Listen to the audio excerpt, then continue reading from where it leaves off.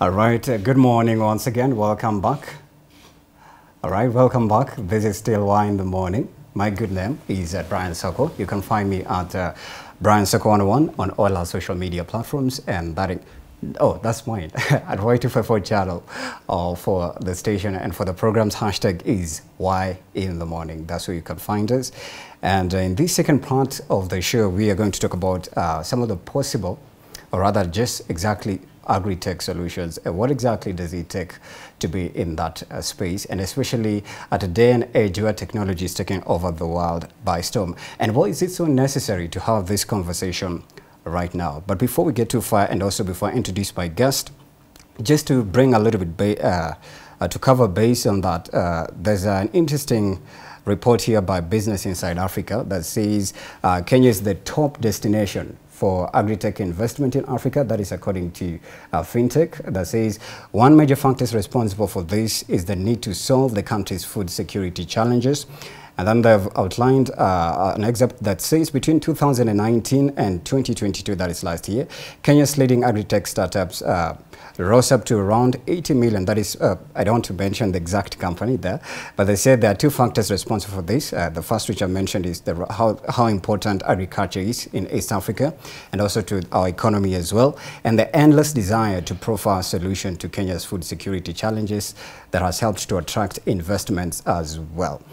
And then uh, they're also saying, uh, they're also pointing out that there's possible opportunities for the youth, especially right now, because initially how agriculture is marketed in our country is not so attractive, but then how can we make it attractive so that, you know, young people or young minds or millennials and Generation Zs can find it, you know, attractive and more appealing. And joining us live in studio to uh, talk about this topic is uh, Kizito Odhiambo. He is the CEO of Agribora. He'll tell us uh, what Agribora is bringing on the table and plus how he found himself there. Good morning to you. Good morning. Thank you for having me. You're welcome. Uh, just a brief uh, story about how you found yourself in Agribora. Um, so first of all, my background is not in agriculture. I'm an electrical engineer by profession. Okay. And uh, it is more of necessity that led me into agriculture and really uh, a drive to go into entrepreneurship. So I ended up in agriculture because uh, while I was studying, I was supporting my family back home. And, uh, you know, one thing led to the other where you realize, okay, I can do more than just send money to help the family do agricultural production. I can actually look at how I can bring in the IT knowledge that I had gained during my uh, studies uh, to help in agriculture. And so I started my first company back in 2014, uh -huh. um, Kedo Solutions, working with smallholder farmers, soybean farmers, and uh, that grew up to 2018 where I transitioned from just working with smallholder farmers in production to looking at how technology can be used to help them improve productivity. So uh. I closed down the first company and started the second company that's now Agribora, mm -hmm. which um, I founded outside of the country uh, because uh, technology has already um, matured uh, in other countries, especially in Europe where I had I studied. So I started my company in Germany and then came to Kenya back in 2019 to now operationalize it. Right. Yeah. But also, uh, reading from your bio, you've worked with so many, uh, let's say, startup uh, agri-tech firms and, uh, you know, the businesses as well. Uh, talk about it and how, you know, it has enabled you to, to get propelled into this space.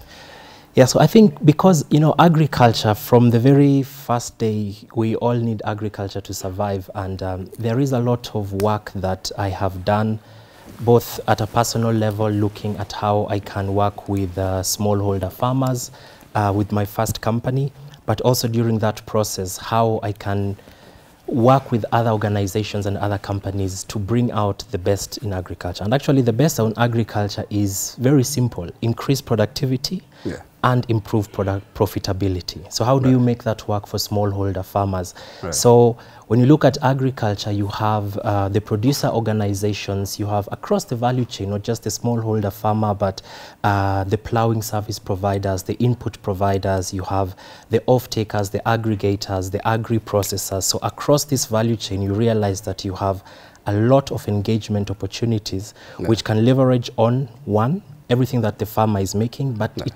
requires technology to help it become more efficient and actually more scalable.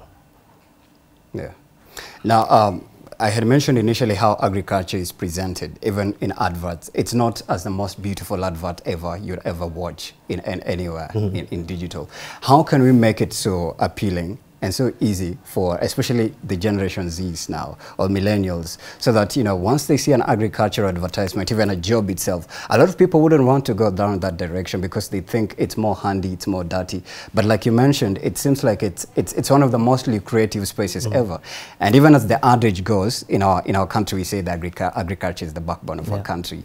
And like you said to increase the value chain food production and profitability are the main co-ingredients how can we make it so appealing to the young minds So when I started Agribora, the, the main goal was to make um, smallholder farmers more visible, more accessible, and more bankable. And so those are the three main pillars of the work that we do. And I'll explain why the youth have a actually very sweet spot in that. Because what we try to do is to balance human touch and technology. Now, we all remember agriculture, the days of our grandparents and parents, where it was about taking a jembe and going to the field and working so hard until you escape the midday sun and then you come back in the afternoon. You know? Was it a jembe or a hoe? or a hoe, you know, Yeah. all this, all this, all the, all this, all this, something, yeah. um, all this. Let me say, still um, traditional ways of uh, producing, Yeah. or for crop production. Right. Today, uh, if you look at why the youth should engage into in agriculture, is not because we want them to also get a hoe and go to uh, to the field. Um, The Africa Development Agenda 2063 foresees that we want to do away with the hand hoe by 2025. That is what the Africa Union was hoping to do. We are now already in 2023, and we are yet to achieve that. Right. So how do we make it work for the youth?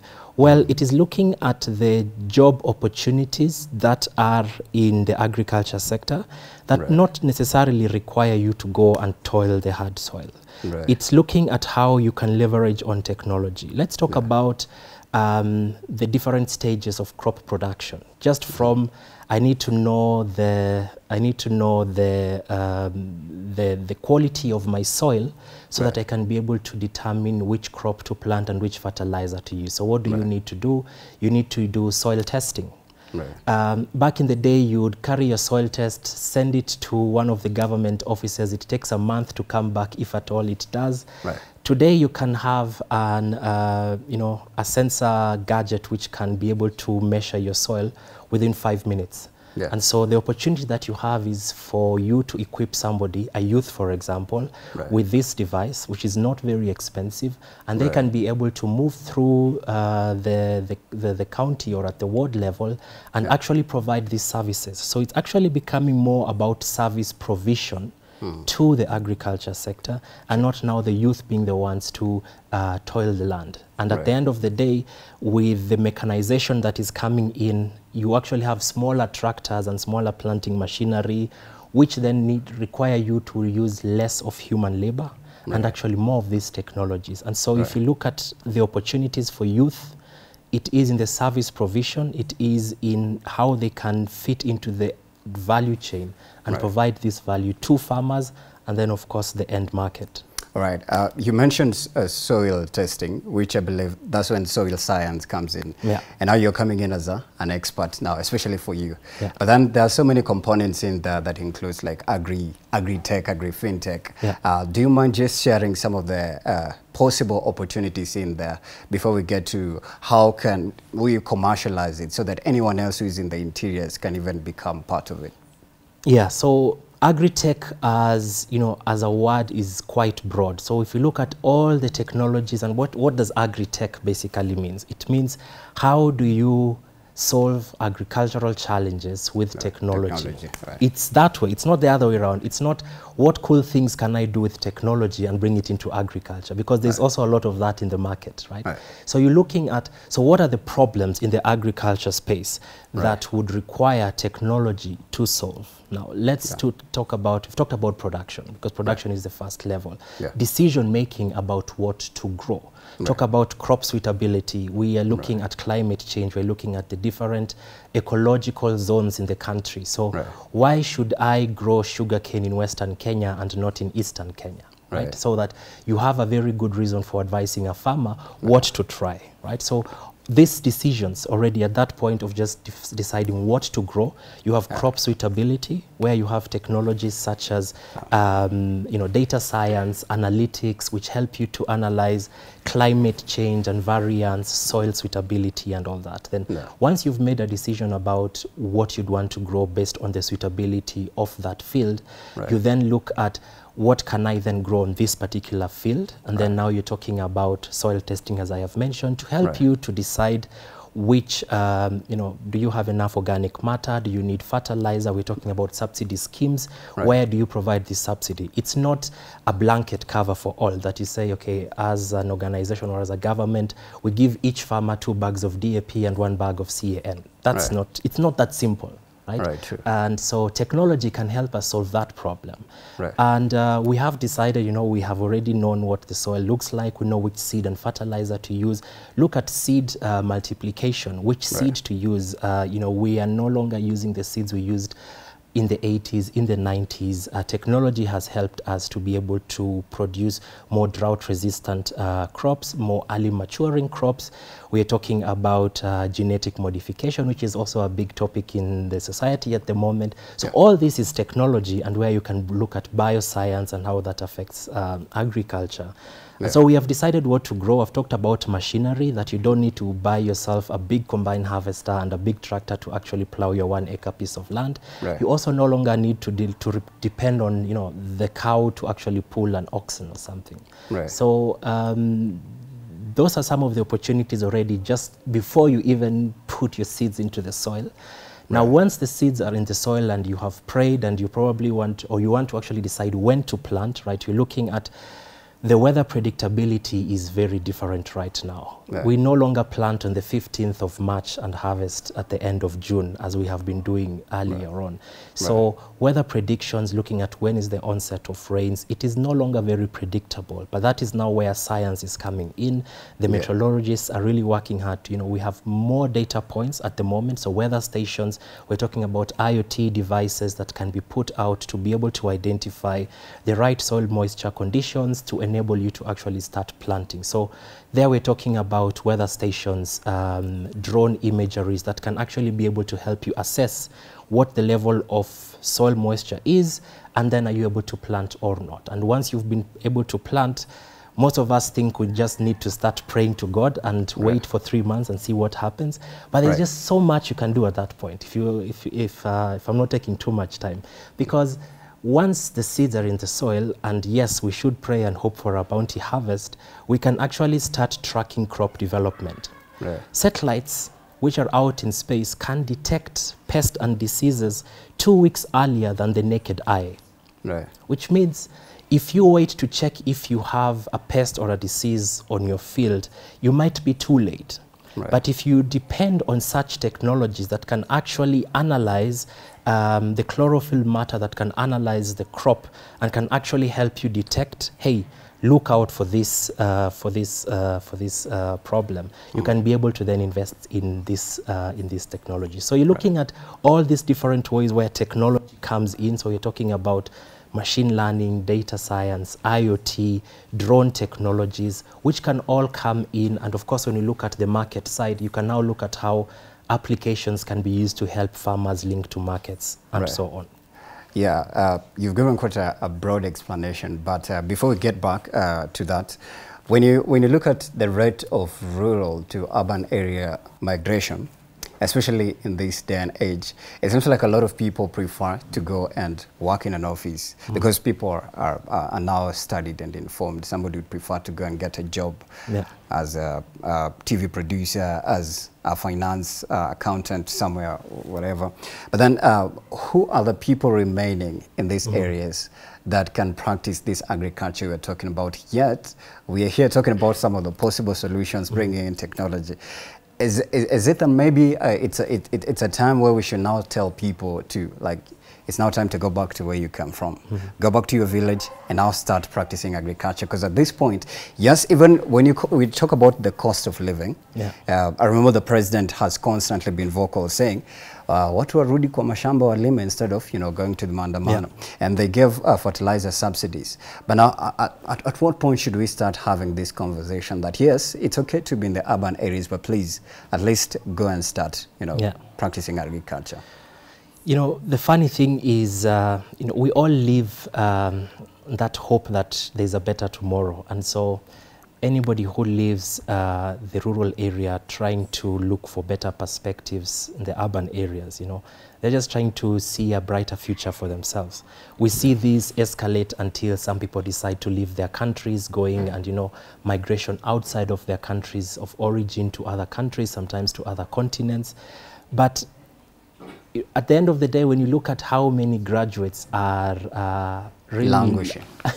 you know, are in the cities, yes, but uh, they do have a degree in their pocket, but are doing jobs that do not actually require a degree to do, right? yeah Then you or not even what they studied for what they Yeah. studied for. You know, Right. you did engineering, but you're actually uh, working in a restaurant or something. Sim- or, Or you know, you are you are supposed Yeah. to be a teacher, and Right. now you are uh, you're doing something that is completely different because you're just not getting these opportunities. So one, Right. it's to realize that. There is no that greener pastures dream of saying, you know, just move to the urban areas and you will get the job because those jobs are yet to exist.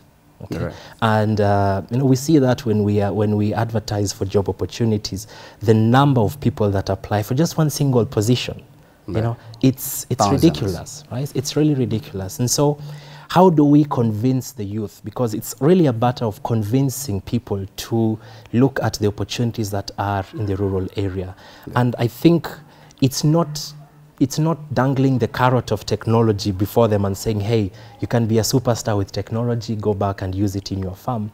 Right. It's looking at what is the job opportunity and what is the return on investment for you. So Right. if you were to invest today in uh, buying a thresher, for example, Yeah. okay, maybe you can fabricate that here locally for maybe 200, 300,000 uh, shillings. And what do you do with it, right? You don't want to sit at home and look at it. You want to get jobs. And that is now where digital savviness helps you to say, hey, there is this application where farmers can be able to request for this. And it's not a mobile application that needs, uh, you know, internet. It can also be used via USSD so that Right. because your average farmer or our average farmer on our platform, and we have over 80,000 at the moment, is uh, around 55 years old. That's our average farmer. And so our question every day is if that is the farmer we are serving, right, uh, at what point does the youth come in, right? And uh, we say, so that average farmer at 55 years needs a very, very simple technology, probably USSD based or IVR, SMS, for them to do something that is actually very, very difficult. Now, technology if you really want to know a sophisticated technology, you see the solutions that are simplest. The one that they just tell you, press a button and something happens.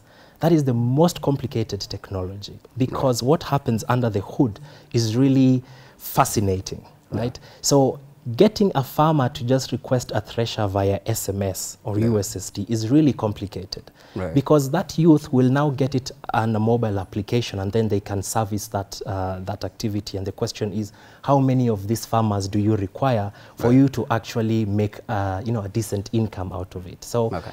I think it is exposing the opportunities and talking more from the numbers perspective. How much do you stand to make uh, in a month, in a season? And so you've heard about these gig opportunities that we talk about in urban areas. We say, yeah, gig opportunities in writing texts and you know uh, reviewing some material. But gig opportunities in agriculture is actually where you can create a lot of employment because there is a lot of work. Just from the day i've mentioned you need to decide what to plant and the day you're taking your crop to the final off taker Right. there are a number of opportunities for the youth and it cannot be done by one person. Right, and you need a bit of investment but also looking at what is the return on investment. So i think that's the which way is, to go Which is like the main goal. Like if I do this, for how am I profiting? Yes. Getting profit. that's that that's at the end of the day you know what my how what do I, what am i left with at the end of the day and so Right. the model that we have uh, developed as agribora is we realize that you know we have all these over 5 million smallholder farmers across kenya and technology will never reach these farmers technology might bring the information to them or make it easier for them to access this information but there is no day our technology will go and visit them so there is always the need to have this human touch Right. and so we have this model that we call the agri hub so all these last mile service providers in the villages, in the rural areas that Right. are working with farmers, we are equipping them with the right technology to make Right. their work easier. And so we quantify our success not just by the number of farmers we have reached, but by the number of job opportunities we are creating for businesses to actually reach their farmers. And that way you can actually see, oh, I have uh, five youth who have been just picking geo coordinates or sending, uh, you know, doing spraying, providing spraying services to farmers, and Yeah. they have earned this amount just this week. So my Right. question is, can I give them another, another engagement next week? And the answer is yes. Why? Because you have the right technology to actually pinpoint what a farmer is doing at what time and who may require your services. Right. True. Interesting. Uh, you'll also talk about later on how agri-tech can be used to solve some of this global warming slash climate change uh, problems. But now let's let's get back to the interior. Of course, uh, when you when you look closely, uh, especially in the interiors, you realize there's something. Uh, I know you understand about crop rotation, but then that, that then there's a need to break that cycle. Instead of planting maize each and every year, Yeah. try find another alternative uh, crop to Yeah. plant. But you realize that in most of those interiors, they're, they're like it's only maize or sugarcane. Yeah. To increase our food productivity, what are some of the other possible, uh, uh, let's say, alternatives, especially in the interiors, that maybe will not even get this conversation, but uh, just in case somebody lands here, they Yeah. can tap into that and help them. Yeah, I think crop diversification is one of the critical points that need to be addressed if we are to become food secure as a country and equally as a continent. Now, the reason why we grow maize is it's simple. It's what our parents and our grandparents and great grandparents have done. So it it's works. tradition. You know, it works. If I can't sell it, I'll eat it. Right. So it's very simple and um, it is easy for us to basically work with it and pray and hope that it, uh, it comes out. It Right. is more challenging to actually decide to move into a high value chain crop. Why? Because one, it requires higher investment. There is more risk to it. Why? Because you have the risk of pests and diseases that you are not aware of. You have the risk of not actually identifying the, the market. You have the risk of uh, post-harvest handling and losses that come in. With maize, you know, you are able to sort of, you know, we are all risk averse in a way. And so a smallholder farmer is the most risk averse person Right. that will say, okay, worst case scenario, I will eat this and my children will not go to bed hungry. And if I have anything left, I will then try and sell it out there. Right. But how do we expose the opportunities in higher uh, high value chain crops and in the structured ecosystem because you see every time we talk about farming we talk about maize on the one hand because it is you know it's the it's the main crop And the mainstay right? Uh, but apart from that we talk about tea we talk about coffee we talk about sugarcane all the woos in Western Kenya with the sugar companies, and then we look at the tea subsidies and coffee. That is what we talk about most of the time when we talk in the agriculture space. We leave a lo- we leave out so many other crops that are high value. Talk about Irish potatoes, talk about tomatoes, talk about um, you know um, herbs and spices.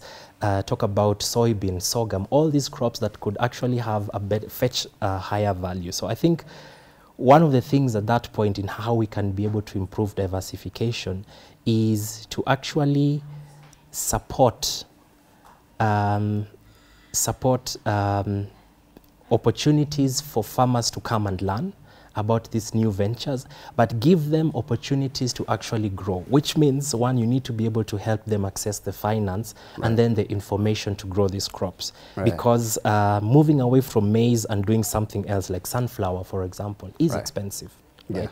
Uh, setting up a greenhouse is expensive, and so while you might want farmers to uh, go into new crops, there is Yeah. that fear, and that first mover fear is still there for them. So Also, sometimes the soil, you're not sure how the soil will respond. yes, Just in case you don't have the knowledge about soil science or done Yeah. soil testing. And that is now where technology comes, Comes in, in. where you just do crop, uh, you know, you, you have these uh, crop suitability maps. Uh, Right. KALRO from the Ministry of Agriculture has developed a very extensive crop suitability map for the country where you can pick your GPS location Right. and it basically suggests to you given your conditions given the climate at this point given the soil The fertility rate as well. right. and Right. did you know that you know from satellite data we can actually know the composition of soil at a 30 meter resolution so you do not need to go and test your soil already at that point to actually right. know what to grow Or take it to some lab in the government. already right now we can that. tell you what is the composition of soil in Tarakanithi. And so we know this soil Via is good for this just from satellite data. Okay. And so all this is technology that has been developing Mm-hmm. where you can actually talk to the county governments because now agriculture is also in a way a devolved uh, activity. You can talk to the county governments and advise the county governments to focus on specific crops that are not maize. That is why you see, you know, you have a lot of avocados coming from this area, coffee from another area, which is good, Yeah. right? So you can be able to actually have a policy to enable you grow specific industries in your region so that you can focus on doing sorghum or sunflower in those areas that Commercially well. now. Commercially. Okay. I want us to take a very short break, uh, but when you come back, you'll be expounding more on that, as well as how, how is the government, you know, plugging in to ensure that this conversation continues to sink and sink further to the interior. So we'll be back after a short uh, break on the hashtag Why in the Morning. Stick around.